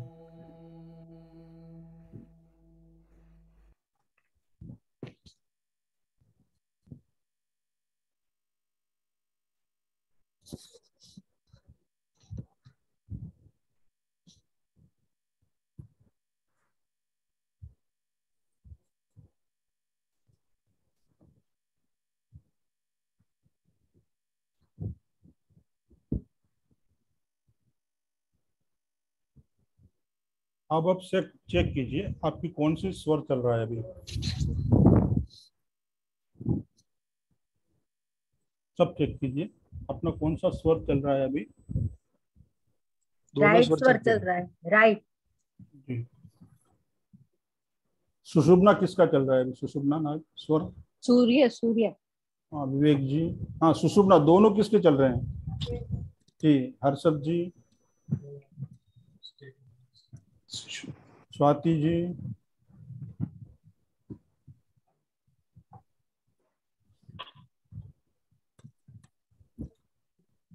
चंद्र चल ठीक है। चंद्र सा चल रहा है। चंद्र चल रहा है। जी। लाइन। आप- चलता है। सूर्य चल रहा है। जी। सुषुम्ना जितना चल रहा है ना जिनका वो धीरे धीरे फिर वो क्या आपका भी जैसे प्रैक्टिस होती जाएगी ना फिर आपका भी शिफ्ट हो जाएगा। तो मेडिटेशन के दौरान फिर आपका भी सुषुम्ना नर्स जो स्वर जो है वो चालू हो जाएगा धीरे धीरे। वो थोड़ा प्रैक्टिस प्रैक्टिस से वो हो जाएगा। किसी का कोई अनुभव है तो अपना शेयर कर सकते हैं। किसी का कोई अनुभव है तो शेयर कर सकते हैं। सर मुझे सिर के ऊपर थोड़े वाइब्रेशन फील हुए थे। जी कौन कौन बोल रहे हैं? निशा। अपना कैमरा ऑन हो सकता है मैम? जी। करती हूँ फिर डेटा की वजह से सर। उसको भी देखने दीजिए ना कोई हाँ। नहीं। हाँ सर। हाँ जी। हाँ आपको क्या फील हो रहा है? हाँ सर यहाँ पे थोड़े वाइब्रेशन फील हुए एक्चुअली क्या मेरा डिस्कनेक्ट हो गया था ना नेट बीच अच्छा अच्छा अच्छा। जी जी। हाँ तो बाद में जुड़ी इसलिए तो क्या उतना ज़्यादा वो फ़ायदा नहीं ले पाई लेकिन यहाँ पे थोड़ा वाइब्रेशन फील हो रहा जी जी। हर एक को अलग अलग अनुभव हो सकते हैं। किसी को ठंडा किसी को गर्म महसूस हो सकता है। किसी के जो सारे पोर खुल जाते हैं जो हमारे छिद्र होते हैं ना शरीर में वो खुल सकते हैं। किसी को कुछ अलग दिखाई दे सकता है। अपने अपनी जो भी कर्माधीन है वो हम देख सकते हैं उसे। देखिए यहाँ मैंने आपको एक बात बताई मेडिटेशन के दौरान कि आपको शुरुआत में आपकी जीवा को तालू पे लगाना है। सबने सुना? सर उस टाइम पे ना लाइक जीप पे जलन होनी शुरू हो गई थी जो तालू पे लगाया था ना हिस्सा। उसमें जलन महसूस होने लग गई थी। ठीक है। तो आप आप में से कोई बता सकता है? मालूम है आपको? तालू पे क्यों लगाना है? सर वो खेचरी मुद्रा बोलते हैं ना उसको? उससे मेरी वो ध्यान ज़्यादा अच्छे से लगता है ऐसा है ना शायद देखिए वो ठीक है वो तो एक हमारा क्या कहते हैं हम उसे? एक वर्ड हमें पकड़ा दिया है कि आपको ये मुद्रा है तो ये हो गया।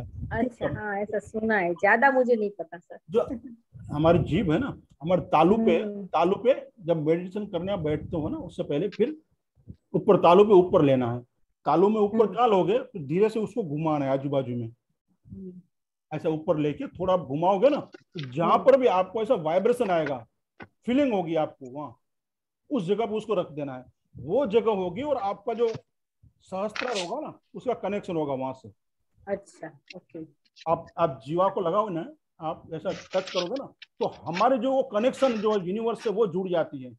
जब वो जीवा तालू से नहीं लगती है, तब तो वो कनेक्शन बनता नहीं है।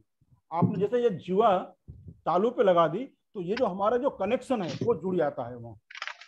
तो वो जो फ्लो जो होता है, वो बहुत बढ़ जाता है। कई गुना ज़्यादा, सैकड़ों गुना ज़्यादा वो फ्लो बढ़ जाता है। जब आपका कनेक्ट नहीं तो फिर वो जो आपकी लिंक है, किससे कनेक्टेड है? यहाँ तो टूट जाती है। तो आपकी जीवा की जो नोक है ना, वो आप थोड़ा आजू बाजू ऐसे घुमाइएगा ऐसा। तो आपको वहाँ पे एक फीलिंग आएगी। एक हल्की सी, बहुत ही अच्छी फीलिंग आएगी। वहाँ आप उसको जीवा को रख दीजिए पूरी मेडिटेशन दरमियान। तो वो जो फ्लो आएगा, इतना ज़बरदस्त फ्लो होगा वो, कि आप उसने कभी महसूस नहीं किया होगा। चाहे आप कितने सालों से मेडिटेशन करते हो। वो वो जो स्थिति आपको मिलेगी, ये इससे मिलती है। फिर आप उसको वो मुद्रा को नाम जो भी दे दो, मगर वो टेक्निकल रीजन कोई बताता नहीं है। आप ये मुद्रा करो, ऐसा होगा। बराबर तो वो हम समझ नहीं पाते उसको सीरियसनेस हम नहीं समझ पाते हैं तो कभी कभी वो करते भी नहीं है। मगर जब आप उस तालू को लगा दोगे वहाँ, तब आप यूनिवर्स से कनेक्ट हो जाते हो। आप वैसा करके देखिएगा। कभी आप दो मिनट बैठे हैं, उदास हैं, उदास भी हैं, या कोई स्ट्रेस है आपको, तालू पे लगा दीजिए, उस जीवा के नोक को ऊपर और फिर थोड़ा सा घुमाइए, आजू बाजू में थोड़ा हल्का हल्का सा घुमाओगे ना तो वो पॉइंट आपको मिल जाएगा। जैसा वो पॉइंट आपको मिल गया ना, आपका पूरा बॉडी एकदम रिलैक्स आपको लगेगा, क्योंकि आप यूनिवर्स से कनेक्ट हो गए उस समय। ये है पावर मेडिटेशन का। ये जब आपको टेक्निकल सब नहीं मालूम है, तब हम मेडिटेशन करते करते सालों बीत जाते हैं, मगर उस स्थिति में हम नहीं पहुँच पाते हैं। ऐसा भी होता है। तो ये ये जो कुछ टेक्निक है उससे आपको बहुत ही अच्छा फ़ायदा होगा। बहुत से कहते यार तेरी मम्मी ने कहा बहुत से पे है। जी सर। और सर अगर मेडिटेशन करते करते जीव तालू से हट जाए ऑटोमेटिक अपने आप? फिर से लगा दीजिए यदि आपको पता है हट गई तो आप लगा सकते हैं फिर से धीरे से। मगर वो मोस्टली हटेगी नहीं। अच्छा। समझे आप? मोस्टली वो हटेगी नहीं। हट जाती है तो आप यदि आपको पता है हट गई तो आप उसको फिर लगा सकते हैं आराम से। और एकदम आराम से करना है, हल्लू से फोर्स फोर्सफुली नहीं करना है, एकदम इजीली आप करोगे ना तो वो फ्लो में आप बढ़ते, बहते चले जाओगे। और फिर आपको मेडिटेशन जो है, बहुत ही प्यारा सा होगा, बहुत ही अच्छा सा होगा, वो अनुभव जो आपके होंगे, बहुत ही अच्छा होगा। ये मेरा पर्सनल अनुभव है, जो मैं आपको शेयर कर रहा हूँ, जो मुझे मेरे गुरुजन ने बताए हैं, वो मैं आपके साथ शेयर कर रहा हूँ। तो इस तरह से आप कर सकते हैं। तो अब किसी का कोई प्रश्न है तो पूछ सकते हैं। नहीं तो फिर हम दो मिनट प्रार्थना करेंगे।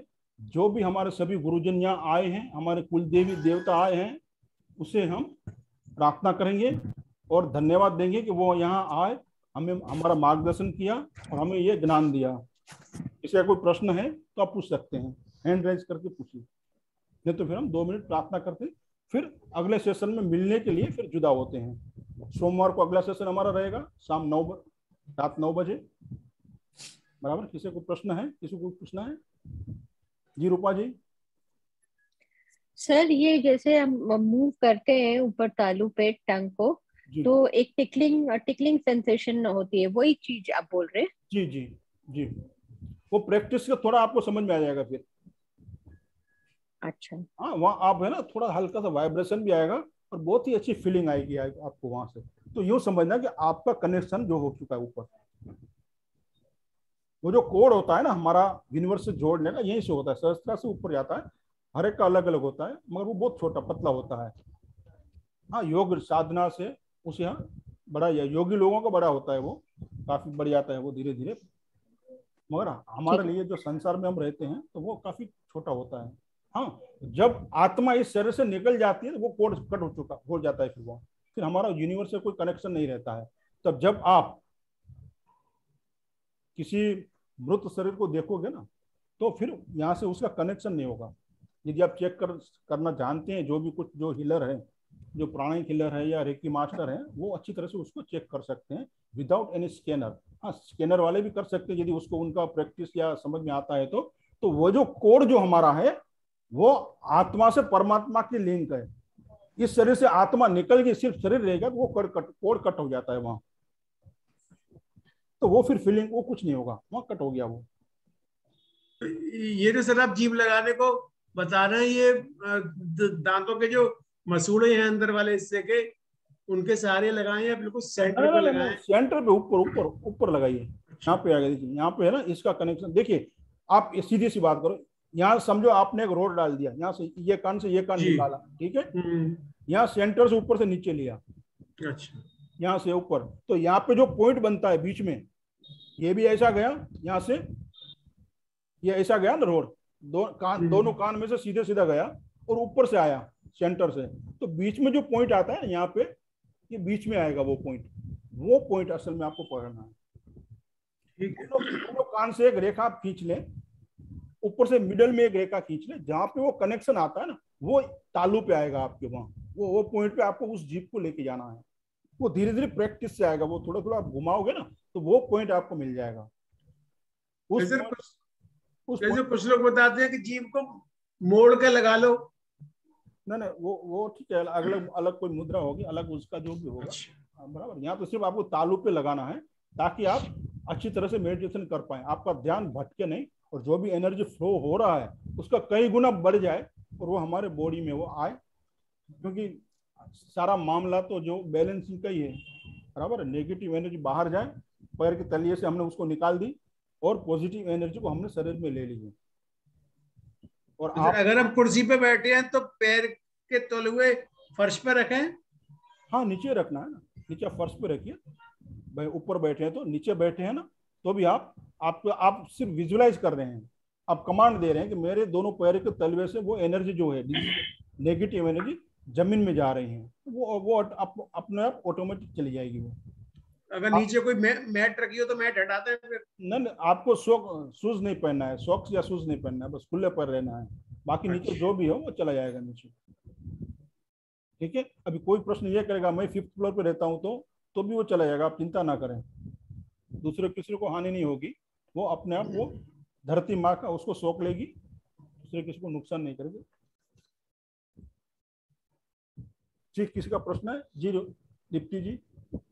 हाँ जी सर मुझे ये पूछना है कि आप हमें रोज करने के लिए कोई मेडिटेशन ट्रैक देंगे? सॉरी मैं समझा आपकी आवाज़ ब्रेक हो रही है। मैं समझा नहीं। आ, सर मैं ये बोल रही हूँ कि फिर डेली हमें मेडिटेशन करनी हो तो आप कोई ट्रैक प्रोवाइड करेंगे हमें? कोई मेडिटेशन का ट्रैक जो हम सुन सके और मेडिटेशन कर लें? नहीं मेडिटेशन तो हम यहीं पर करेंगे। तो ये ओके okay. आपको सुनाई नहीं दे रहा था मेडिटेशन नहीं नहीं सुनाई दे रहा था। आई एम जस्ट सेइंग कि जैसे आज फ्राइडे है अब मंडे को क्लास है तो अगर हमें सैटरडे अच्छा। संडे भी करना हो अच्छा तो ओके हम आई विल ठीक है मैं वो ग्रुप में पॉसिबल है तो मैं डाल देता हूँ ग्रुप में वो मेडिटेशन आप कर सकते हैं ठीक है? ओके ओके सर ये पूछना थैंक यू हाँ जी वो कर सकते हैं आप सबको लिए ग्रुप में मैं डाल दूँगा आप वो मेडिटेशन कर सकते हैं ठीक है? ओके सर और किसी का प्रश्न है? रूपा जी कोई प्रश्न है आपका? सर जैसे बैठते तो बेड में बैठे तो भी पैर ज़मीन पे रहना चाहिए था? नहीं वो सवाल नहीं है। आप बेड पे बैठे हो आप चेयर पे बैठे हो पैर नीचे है तो अच्छी बात है। बेड पे भी बैठे हो और पैर नीचे हैं आपके तो अच्छी बात है और नहीं भी है मानो। आपने पलटी मार के आप बैठे हो तो, तो आपको सिर्फ़ कमांड ये देनी है कि मेरे दोनों पैर के पैर नीचे हो तो बहुत अच्छी बात है और कुछ वजह से आप नहीं रख सकते हो। या आप एकदम वो पीछे वो करके बैठे हैं पिलो लगा के बैठे हैं पैर आपके नीचे हैं नहीं है तो आपको ये कमांड देनी है कि मेरे पैर से, तलवे से जो भी, जो पैर के नीचे के तलवे में चक्र होते हैं ना, उससे जो नेगेटिव एनर्जी है डिज़ीज़ एनर्जी है स्ट्रेस एनर्जी है, वो बाहर जा रही है ज़मीन में, ताकि वो आजू बाजू कहीं ना जाए। देखिए एनर्जी को जो आप कमांड दोगे ना, वो एनर्जी करेगी। आप कहोगे कि ऐसा करो तो वो वहाँ जाएगी। आप जहाँ सोच से उसको भेजोगे, वहाँ वो चली जाएगी। तो आपको सोच से उसको भेजना है कि आपके दोनों पैर के तलवे से वो नीचे जा रही हैं। हाँ नीचे रख सको। जैसे चेयर पे बैठ के हम बैठ बैठ के करते हैं वो सबसे अच्छी बात है। तो वो ऑटोमेटिकली वो चले जाती है नीचे। वो सबसे बेहतर है। ठीक है? कुछ थैंक यू सर कुछ केस में कुछ पेशेंट है मानो कि नहीं बैठ सकते हैं तकलीफ़ हो रही है। तो वो भले सो के करें बैठ के करें ठीक है? या बैठ हो सके तो आप चेयर पे बैठे या पलंग पर बैठे तो पैर नीचे रखें ताकि वो जो एनर्जी इजिली फ्लो नीचे हो जाए। ठीक है। ठीक है जी। ठीक है Surendra thank you Surendra ji okay आपका कोई प्रश्न? सर हाँ सुरेंद्र जी आप मुझे सुन रहे हो? ढिल्लोन साहब? हाँ जी सर हाँ जी हाँ जी। हाँ जी समझ में आया? हाँ समझ में आया जी। ठीक है तो फिर आज हम दो मिनट प्रार्थना करें और फिर जुदा हो सोमवार को मिलने के लिए। ठीक है सर ठीक है। इन बीच किसी का कोई प्रश्न हो तो वो ग्रुप में ज़रूर डाल सकता है। कुछ समझ में ना आया हो तो ठीक है? तो हम दो मिनट प्रार्थना करते हैं, फिर हम जुदा होते हैं सोमवार को मिलने के लिए। दो मिनट आँखें बंद करें, अपने गुरुजनों को याद करें, अपने कुल देवी देवताओं को याद करें, अपने समस्त देवतुल्य पितृदेवों को याद करें, उन्हें धन्यवाद दें कि हमें ये उन्होंने सुनहरा अवसर दिया है। हमारी जो भी तकलीफें हैं, पीड़ा है, उनसे निजात पाने के लिए हमें उन्हें ये रास्ता दिया है। उसके लिए उन सभी का हम धन्यवाद देते हैं। दो मिनट प्रार्थना करके।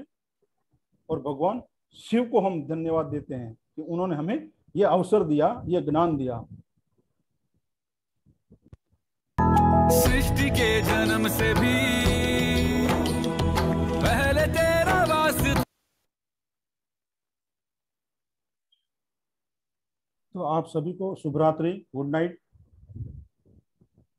नमन चरण बंदन सर। नमस्कार। चलिए फिर हम मिलते हैं सोमवार को शाम नमस्कार नमस्कार। नौ बजे तब तक के लिए। नमस्कार सर। धन्यवाद। सबको good night Shubh thank you sir good night sir